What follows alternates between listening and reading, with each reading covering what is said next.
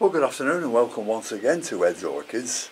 Now, the three plants in front of you are three plants I bought a couple of uh, months ago, and we'll do a little talk about them. They're all inter intergeneric, uh, intergeneric plants from the Oncidium groups. Uh, got crazy names on them, so we'll just talk a bit about them and uh, I've got one planted in ordinary bark and the other two were planted in uh, the coconut husks, the coconut husks which I did. So uh, we may we may just have a look at the roots as well, see how they're going on. Well, what can we say about these three? Well, they're all intergenerics, like I've said, and they're a real mixture of everything, and I'll go into that in a bit. And uh, the many of these, uh, we're talking about oncidiums now, they're all, uh, or many of them are epiphytes and uh, they grow in various places as well as that. Um, they come from sort of uh, South America, Mexico, Caribbean islands, places like that, all, all that, that area. And they like sunlight. They like plenty of sunlight. I don't think it's advisable to give them sunlight in the afternoons, but uh, that goes the same for all the orchids. Humidity, yep, they like a humidity around about uh, 40 to 60 percent. Uh, as for potting, uh, nice bark mix, something light. I, I mean, why I say I'm going to have a look at these, I might have potted them up in the wrong stuff in the coconut husks. Might be a little bit too heavy for them. Because they like, when you water them, for the water to run straight through. And there'll be plenty of air in as well. Now, they need a light mix. Now, I don't mean light in weight. I mean light in letting the water go through and uh, plenty of air there as well. So when we pot them, we've got to make sure that the, uh, the roots are not packed in too tightly. I mean, these sorts of plants have large pseudobulbs. These are only small ones, they're more or less seedling plants. And uh, if you overwater them when these uh, pseudobulbs get too big, it can quickly lead to root, root rot. So uh, make sure you don't overwater them. I would just water them once per week in the nice warmer weathers and in uh, in winter. Then uh, just water them sort of um, I mean taking into account they've got these large pseudobulbs which they can feed off and get the moisture from. In winter just water them sort of uh, once a fortnight. I'm saying once a week or once a fortnight uh, for watering but uh, you've got to take into consideration how big the plant is because these plants get very, very big. So uh, the bigger they are, the more water they'll need. Now as far as temperatures go, they like it warm, but they will do very well on intermediate temperatures and uh, they grow very, very well indoors provided you give them the right conditions. Now the first plant we'll look at is this one, which is uh, Brasidium orange charm crossed by Oncidium megaglossum. Now then, the Brasidium is evidently a cross between uh, Brassia and uh, Oncidium. Uh, the orange charm just speaks for itself. Uh, now the Odontoglossum megaglossum, Oncidium, sorry, Oncidium megaglossum, I can't find it anywhere on the net. I mean, you can find oncidiums, but you can't find uh, megaglossum. So mega, I take it's something large, and glossum from the odontoglossum. So I'm expecting this plant to grow very, very large. Uh, anyhow, we'll see what happens to it. Uh, this one is, is uh, planted in the bark.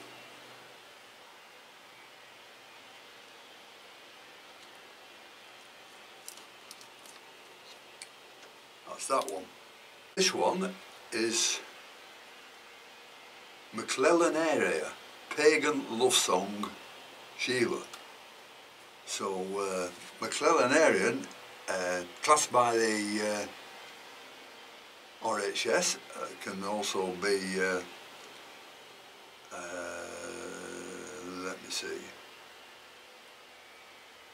oh let me think, no, McClellanaria is uh, Brassia crossed Oncidium crossed uh, Odontoglossum and it can also be called, according to the RAHS, as uh, Brasidium. So you know that these intergeneric plants can be almost anything. Uh, the, uh, the Sheila type of this plant uh, has received many awards in the late 70s and early 80s. So what can we say about the flowering of these uh, McClellanaria. I've no idea. They just, I think they just follow the same forms of looking like uh, Odontoglossums and Sharry Babies and, and all that sort of stuff. But I'm really looking forward to these growing quite uh, some time. Oh, I put the label back. McClellanaria. And the last of these plants is a, uh, let's have a see, Beallara, Campbell's Glacier. Put the plant back in before I forget. Now on these there's at least four genera into these plants here. Uh, now the name Beallara is uh, Brassia, Miltonia, Cochlioda, Odontoglossum, and the Campbell's Glacier part is a cross with uh, Oncidium Memoria Donald Campbell. You know, the guy who got killed on uh, Coniston Waters in Bluebird. And uh, that's why it's called Campbell's Glacier. All these plants are so intergeneric that it's impossible, you know, you'd, you'd have to write a book to list them all. So uh, I've told you all I can about them. They grow very big. These are only small plants. And they come from a private collection, actually, these, uh, who were too old to look after them. So a dealer bought them and uh, offered them. So uh, I stepped in and bought three. So let's have, have a look how the roots are getting on in these. Well, the first one we'll take out is the one in bark. you notice I've put uh, covers around all my uh, all my pots now because uh, I find out they grow better when the roots are in darkness. So this is the uh, Brasidium orange charm crossed by Oncidium megaglossum. Let's have a look what the roots are doing here. I only watered these yesterday so excuse me Oh, dear, dear. So there will be a little wet.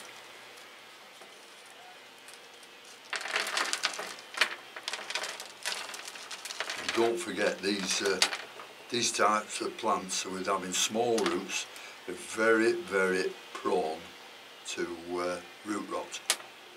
Now this looks very nice. I can't find any soft ones yet and some new ones. So this won't get watered for at least another week. So we'll put this one back in its pot that it's doing okay and have a look at the ones in, uh, in the husk.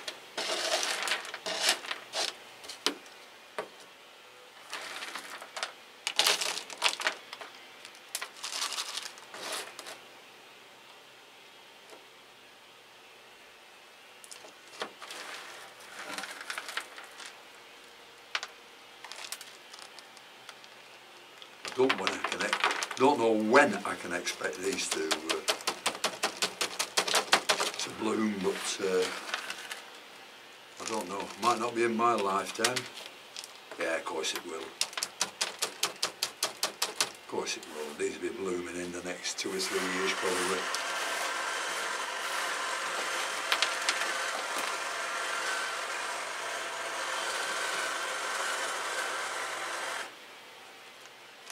Was that noise then?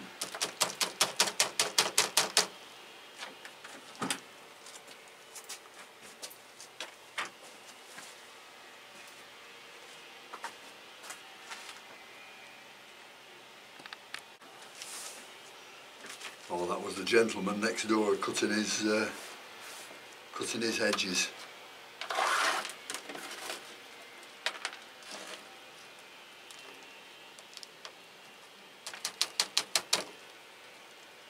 You know, I how these will be. Uh, I've made a horrible job of that one, so I'll redo it.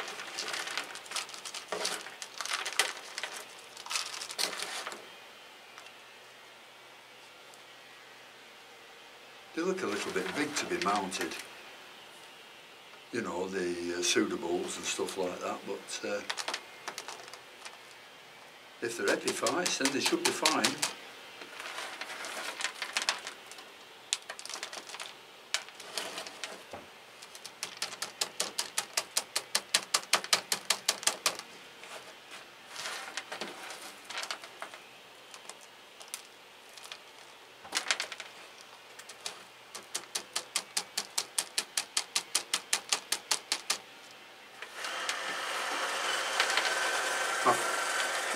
Goes again.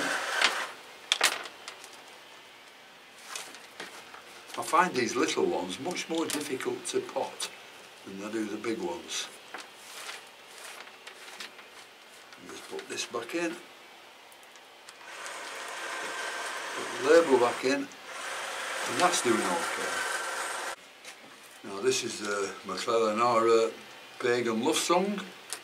So we'll just have a look at this one, see how it's going on in the husks.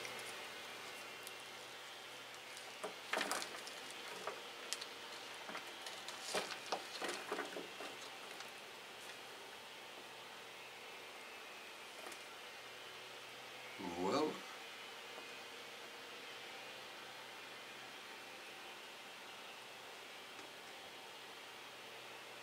Well, once again I can't find any bad roots on them. Because I did uh, cut all the bad roots off when I first uh, when I first got them a couple of months ago. So uh, they're not doing so bad. You can see how they're twisting round like that because they're in very small pots. So we'll uh, we'll just put this back up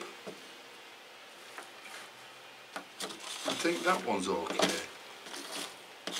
Oh, very pleasing up to now. Just hope these settle down and open up a bit.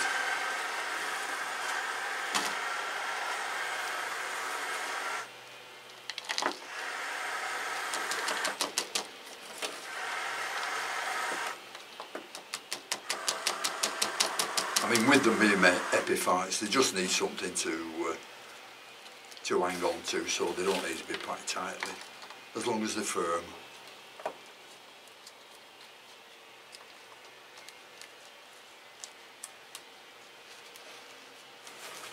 As long as they're firm and have plenty of space in them.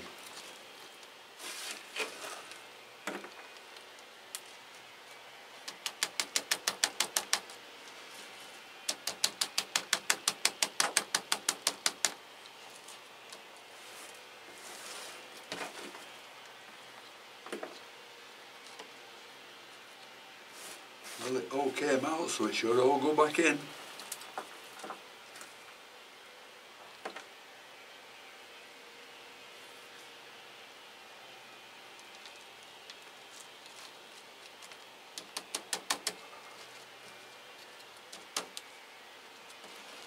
Sure it stands upright. Firm enough that. Put that label back in and have a look at the last one.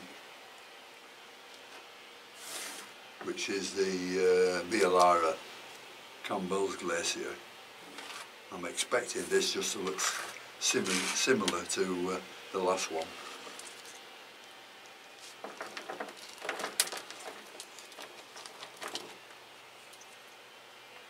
Yeah. Is that a bad root? No. No, no bad roots on them. Just one bad root there so we'll take that one off. And one here. That's it.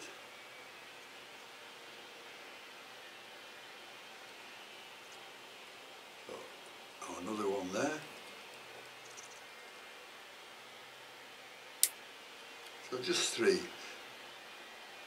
You can see why these are prone to root rot with being very small roots. Now I remember once, oh it's many years ago, what's he called on television? Uh, the gardening fella, Monty Don. He was once talking about orchids and he said the most daft thing. He said the bigger the roots, the less water they want. And the smaller the roots, the more watering they want. Now if you can believe that, you can believe anything.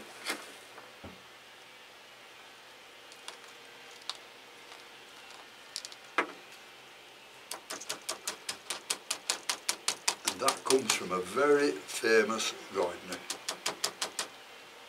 So, you know, not everybody knows everything about everything. Even us on YouTube, we're always learning.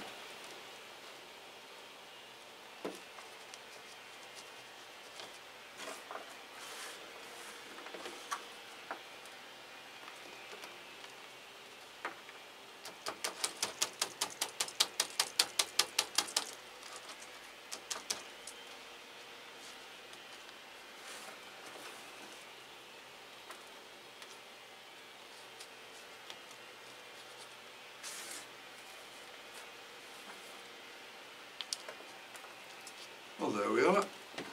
I'm very pleased with those three. Uh, not showing any decline, they're showing a little bit of movement and uh, we'll just keep them on some, one side, make sure they're dry and uh,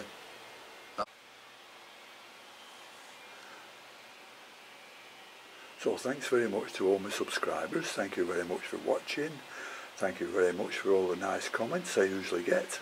And until next time, I'll see you all later. Bye.